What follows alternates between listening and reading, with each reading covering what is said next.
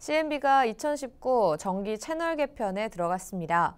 누구나 손쉽게 자동 채널 설정 한 번으로 늘어난 170개 채널들을 즐기실 수 있는데요. 김영식 기자가 자동 채널 설정에 대해 안내해 드립니다.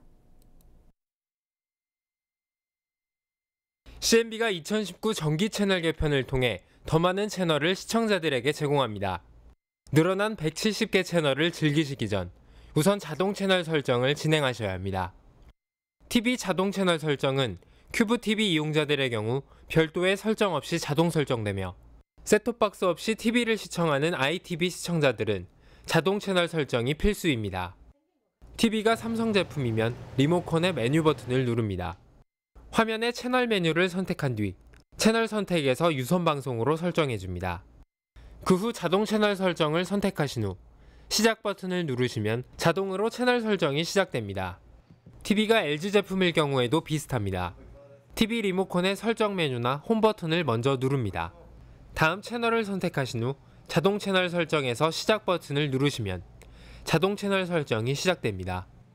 중소기업 TV도 마찬가지입니다. TV 리모컨의 설정 버튼을 누르고 채널을 선택하면 자동 채널 설정을 묻습니다. 시작 버튼을 누르시면 자동 채널 설정이 진행됩니다.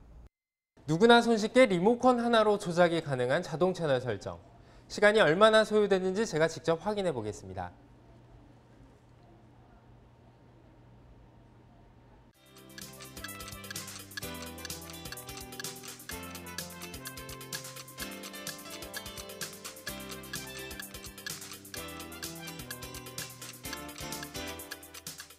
자동 채널 설정을 시작한 지 3분이 채 되지 않아 모두 완료될 만큼 신속한 설정이 가능합니다.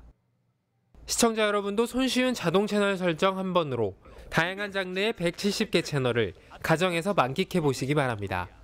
CNB 뉴스 김영식입니다.